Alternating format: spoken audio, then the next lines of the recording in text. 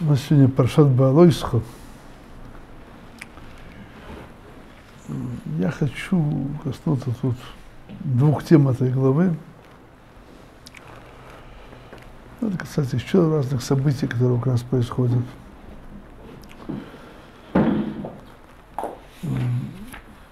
Наша глава, глава начинается с очень такой небольшого отрывка, посвященного Мануре. Храмовой Манаре. Может быть, вы обратили внимание, что когда мы читаем на, хан, на Хануку, так называемые главы Нисиим, то то, что мы читали в предыдущей главе, мы кончаем их восьмой день Хануки, начало нашей главы. Порядку. То есть перескакиваем из главы на носу и кончаем отрывка в Манаре нашей главе Балойсха.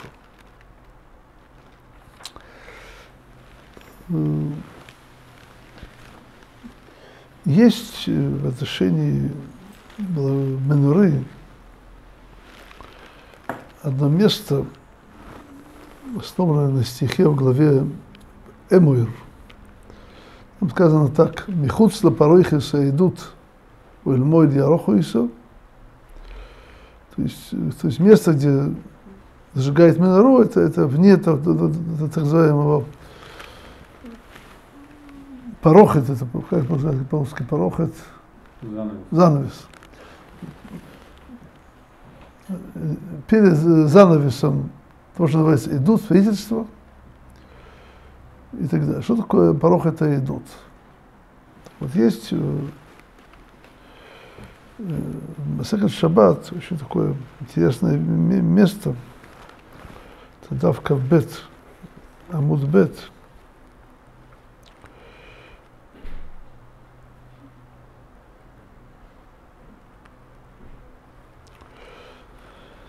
Там Гамарат объясняет, что идут здесь означает «Эдудги лебей ойлом шешхина шураба Исраэль». Это свидетельство для всех живущим в мире, что присутствие Всевышнего находится в народе Израиля. В чем, то есть, в чем было это свидетельство? То есть, э, объясняет это Гамара дальше. В Манаре было семь светильников. Один из них, так называемый Нера Марави, мы наполняли так же, как все остальные. Он всегда горел больше всех – и, когда, и от него зажигали заново Менру на следующий день. То есть всегда, кроме тех времен, когда начался уже с Эстер Паним, сокрытие лика Творца, в нормальном состоянии, это было постоянно, то есть, что тут написано, короче говоря, что в храме было постоянное Нес Ханука. Постоянно был этот самый Нера Марави, который горел не только ночь, как ему было положено, и даже не длинную ночь, как нас упоминается, ночи месяца Тевет, а говорил также весь день тоже. О чем это свидетельствует? О том, что Шхина присутствует в народе Израиля. Это было постоянное чудо Хануки в нашем народе. еще вещь немножко объяснить. Объяснить. Вообще-то храм вообще был местом чудес. Это упоминается в Пиркеавод, что там 10 чудес было в храме, упоминается также отдельно, есть Масегет Юмата, в конце первого, первого перека там есть тоже вопрос о чудесах, которые были в храме. В чем суть этого дела? Почему? То есть это само по себе было ясно, что в храме были чудеса. И, еще, и почему они были? Просто, просто сказать, что видели, что это дом Всевышнего, хватило бы одного чуда, просто начало было десять. Я объясню одну вещь. Э, то есть понятие чудо, нес, это означает, что есть что-то выходящее здесь за пределы ограничений этого мира. есть этого один источник, когда в мире раскрывается, в этом мире раскрывается нечто более возвышенное, духовная часть мира, которая является, безусловно, главным. Это главное, оно, оно властвует более ни, низким, это материальной частью этого мира. Там, где скрывается высшая часть мира, то там наступаются и законы природы. Поэтому храм, который был, который был местом как бы стыковки высших миров и низших миров. Хам там было место присутствия в Шхине, то там были постоянные чудеса. И опять же, то, что это тоже говорится из Гмара Масахет Шаббат, что этот, этот, этот, этот светильник Минурей, он говорит всему миру, что есть шхина, присутствует в народе Израиля. Этим постоянным чудом, которое было ежедневно, ежедневно.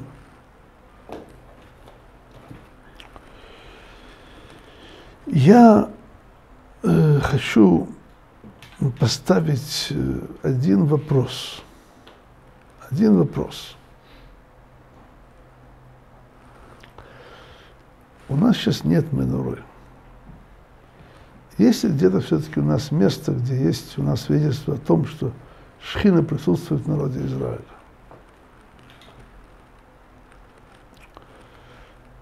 Э,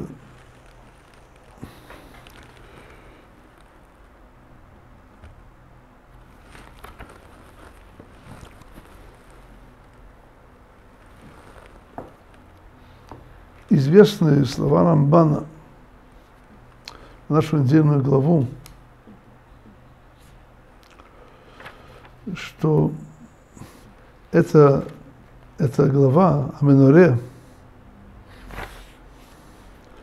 есть также намек на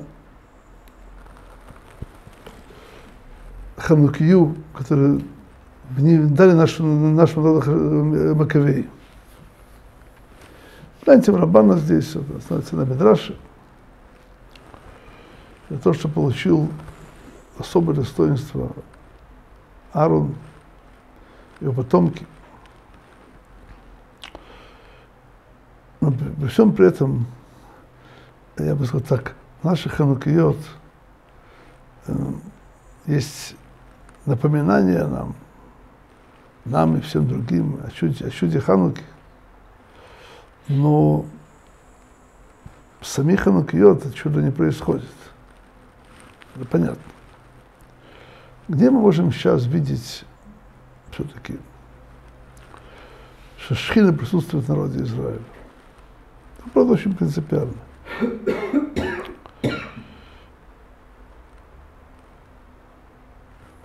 Хочу тебе еще немножко объяснить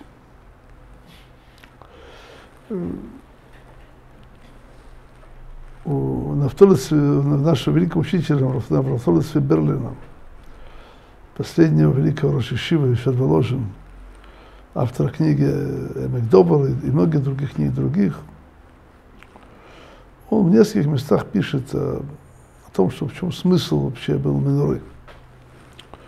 Он приводит Гмару из Масахет Баабатра, что кто-то хочет обрести мудрость нужно немножко, когда молится в сторону храма, немножко обратить лицо в сторону юга.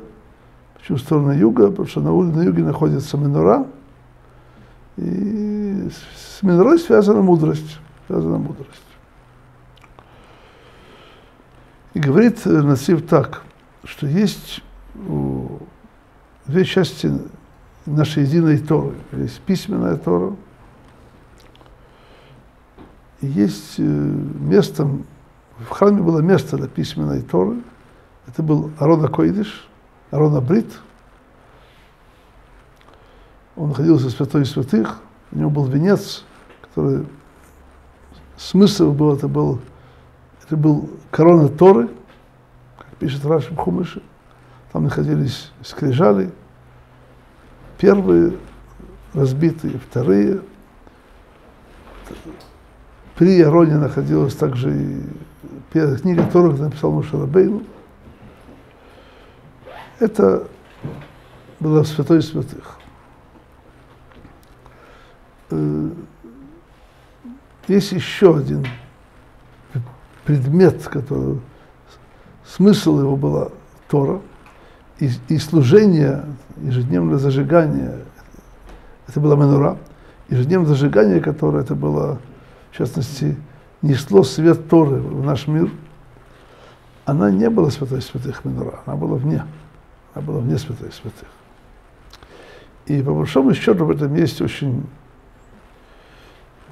глубокая идея, что, что ту Тору, которая находится в святой святых, святых, надо спустить ее к нам, довести ее до нас. Тора должна в этом мире раскрываться, а не быть где-то далеко, глубоко спрятанной. И э, Медура соответствовала устной Торе, в частности, труду над устной Торой, Потом приводит э, Нациб, то, что мы знаем в Менуре, что были Кавторим, Прахим и так далее. То, по-моему, Рабитафон говорил на какой-то хорошей, очень новой идее в Торе, говорил, что Кавтору в Ферах. Какое имеет отношение к Кавтору в Ферах, это упоминается в Вашей Менуре, как новым Хидушим Тура. Какое имеет отношение. Говорит об этом так, что, что это все эти вот все эти вот части Менуры, они бы соответствовали действительно, эти части соответствовали Хидушей Тора, новому, который раскрывается нами в Торе. О. И тут мы можем сказать следующую вещь. Есть у нас место, где присутствует Шхина. И сейчас. Сейчас. И у нас реально есть тут несколько таких мест. Я говорю просто сейчас об одном. Это мы, мы сейчас недавно учили Масахат Брахот, кто это помнит. Там упоминали, упоминается в первой главе, что о важности молиться именно в том месте, где ты учишься. Это попросту говоря, это, это, это, это не хумра или такое, или дополнительное такое достоинство последних поколений. Это, попросту говоря, это закон Талмуда, что если возможно молиться именно в том месте, где ты учишься. Почему? Потому что сказано, что там следующая вещь, «Ой, Хавашем, шарим им баалоха», Всевышний любит те самые врата, которые отличаются Аллахой, это, это дом учения, дом учения. И там сказано там еще, что Эльна Кадашборху Бауламо, если после разрушения храма, нет Всевышнего в этом мире только четыре локтя, арба амот, алоха бельвад, там, где занимаются Аллахой. Что они занимаются Аллахой, я это объясню. Это имеется в виду, когда человек корпит над Талмудом и над другими святыми книгами, из этого извлекает Аллаху, а не просто читает Кесур Шуханарух и думает, что называется Арба Мочер Аллаха Бельвад. Не совсем так. А имеется в виду, что он должен давка в бетов Арбамот находиться? Где не, не, не, слушайте, это сейчас не важно сейчас. Не надо сейчас касаться вещей, которые не принципиальны. О, то есть там говорится, что присутствие шхины, присутствие шхины есть в месте, где занимаются Торой. Это Торой. И, как мы сегодня говорили, присутствие шхины проявляется в том, что проявляется чудесами, выходом за обычные законы природы. Я могу привести простой пример. В наше время известно Ешива Мир пять или шесть лет находилась в Шанхае. Пять, скорее всего. Бы, у меня есть свидетельство тех, кто там был, что ну, личные, устные и так далее, что время, когда американцы беспощадно бомбили Шанхай, была большая военная промышленная база япон, японцев, то где прятались китайцы во время бомбежек? В Ишиве. Ни один ученик Ишивы не пострадал от бомбежек. Все 5-6 лет. Нет. Почему? Это было то место, где присутствовала Шхина. Это было место присутствия Шхины. Во-первых, в первую очередь были они сами, они сейчас не в здании. Не в здании. То есть, если мы говорим о где есть свидетельство о том, что шхида присутствует в нашем народе, я вам скажу. Тут не, не нужно китайцев, которые там спасались. Кто-то войдет в хорошую, хорошую ешиву, видит огонь, который там, свет, который там есть на лицах ребята учат Тору, это настроение и время, и время учебы, и время молитвы, он поймет, что это, это место оно не относится к, к нашему миру, где мы, живем сегодня. Ну, тот, кто знает, что такое хороший живот, меня, меня хорошо поймет.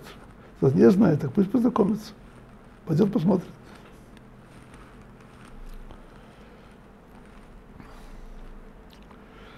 Есть тут э, одна очень принципиальная вещь.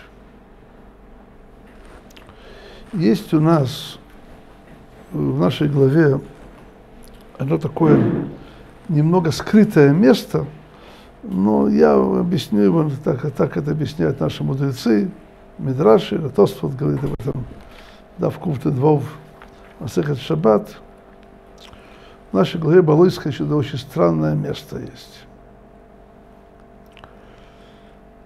есть такая, такая маленькая глава, которая называется Масахат Шаббат отдельной книгой Торы. Это глава, стоящая из двух стихов. Это, это десятая глава, 35-36 стихи, «Ваибин соа ароин, ваемер муше, кума адуино, и ваефуцу и веха, венусу писаху панеха, вануха юимар, шуба адуино, и ревос Называется отдельным свитком Торы. Отдельной частью Торы называется. Он окружен такими написанными в книге Торы, написано наоборот буквами Нун. Очень такое непонятно, какое имеет вообще отношение к тексту Торы в этом месте. Очень непонятная вещь. И приводит Гмара у Масахат Шаббат, что, это, что не тут место этих, этого, этих стихов, но, но Всевышний сказал их тут написать, разделить между двумя тяжкими событиями, которые там произошли. До этого и после этого. Но после этого это видно. А вот до этого вроде там ничего, ничего, ничего не видно, ничего не видно, ничего не видно чем тут проблема? И говорится в Талмуде, что это было сказано, что они отошли от Торы Всевышнего. Где это написано? Сейчас, секундочку. Отход от Торы Всевышнего это первое, да? Да, первое, да. О. Там Гмор обсуждает, какие тут были два действительно тяжелых ситуации, случая, надо было разделить. Секундочку. Э, я сказал неправильно, не куфты 2, а куфты зайн. Я прошу прощения. Так говорит этот Талмуд так, что первое происшествие тяжкое, это было тоже сказано у нас в нашей главе, 10 главе, в 33 стихе, в Иисуме Арашем, как бы уехали от горы Всевышнего. Уехали. Ушли. Уехали. Неважно. Ушли. Говорит Талмуд, они как бы отошли от Всевышнего. И объясняет здесь Тосфот основании Мидраша, что значит они уехали, ушли от горы Синай, как ребенок, убегающий из школы. Знаете, что такое, как дети убегают с уроков? Вы знаете, знакомы с таким? Убегали, а я убегал. Там мы, правда, не Тору учили, но дети убегают, даже когда учат Тору. Дети – это дети. И это очень для нас актуально сейчас. Мы сейчас находимся после Шавуот. И, в принципе, в мире Тора есть такое напряжение, напряжение, достоится заново Тора до Шавуот, и учится много. Но вот вопрос очень принципиально, что происходит после Шавуот. После Шавуот. Есть такая очень некрасивая поговорка – а некоторых, конечно, это не большинство и так далее, но некоторых, что делают после шивот, идут спать, просыпаются перед началом, к началу Илюля. И вот тут надо понять, это, это, это, это для нас Шивот, это, это то, что было для них, это гора Синай. А что мы делаем, мы, мы жили в каком-то напряжении, заново достоится Тора перед Шавот. Мы здесь уже говорили о том, что это немножко опасно не учиться лишь Шавот. Но что делаем потом? Вот в чем вопрос. Как будто бы все уже прошло, даже все в порядке, можете спокойно идти спать до Илюля, до Шафара Илюля. Вот тут говорится, что это, это причина, это, это, это очень тяжкая вещь, когда человек сбрасывает с себя бремя Торы и ходит от горы Синай. Э, слышал в одном месте в прошлой неделе такое емкое замечание. Спросили от одного хорошего еврея, как прошел Шавуот. А Шавот, говорит, мне не прошел, он у меня остался. Я объясню. Э, Шавот это подобно хупе, свадьбе. Но после свадьбы как-то невесту не оставляют. Не оставляют ее. Не... Это, есть такой очень замечательный Даршан Варацисроэль, Рав Йосефи, как сказал так – в чем разница между всеми веселящимися на свадьбе и женихом? Как можно увидеть жениха? Они все одинаково одеты. И вроде бы можно всегда перепутать. Где четко мы знаем, человек приходит на свадьбу уже после хупы. Как он может узнать, кто жених, а кто просто его, его радостный брат и радостный гость и так далее? Это очень четко тот, кто берет после свадьбы невесту к себе домой, это, это жених. Мы все участвовали в Шавуот. Учились кто больше, кто меньше, но все мы радовались получению Тор. Но кто настоящий жених? Тот, кто не идет спать до Илюля, а наоборот. Наоборот. Э, есть такой обычай – знаю, сегодня мы стали люди, так сказать, немножко слабые, слабыми. Есть, знаю, люди, которые специально, они, после того, как они учились всю ночь шавот, они еще продолжали учиться еще днем тоже. Не спали, да? Некоторые раньше учились, потом только шли спать. Есть по-разному. Но, короче говоря, чтобы не было ситуации, сейчас все, как просто отбрыкались кончили шву, сейчас, сейчас делаем кидуш, идем спать, а дальше все. Надо хорошо понимать, что Понимаете, наша, жизнь нашего народа, она находится не по законам природы. Наш народ, его само существование для свидетельства о том, что Шхина присутствует в народе Израиля. По закону природы нас давно бы не было бы. Это мы хорошо знаем. И это знали также не только евреи, знали, знали также не, не евреи тоже. Мы себе задали вопрос, в силу чего, где мы сегодня видим присутствие шхины в нашем народе. В целом видим э, как бы отблеск, отблеск этого в том, что просто в чем мы существуем. Но это присутствие шхины зависит от нас. Зависит от нас в нескольких аспектов. Во-первых, тут в нашей учебе вопрос. Второе, э, какие еврейские дома мы строим? Дома, в присутствует шхина или не присутствует шхина? Я хочу, так сказать, э,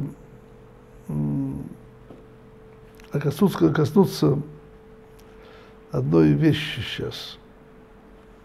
Сегодня по нееврейским датам 50 лет шестидневной войне. Сегодня. Мне, мне не важно не еврейские даты, но так как зачастую люди, которые не живут в, рам, в этом Мидрше, живут по нееврейским датам, для них это более явная дата. Что произошло в шестидневную войну? Мы увидели, что Всевышний делает нам чудеса. Делает нам чудеса. В силу тех, кто в этой, в этой земле учит Тору. И даже более того. Знаете, есть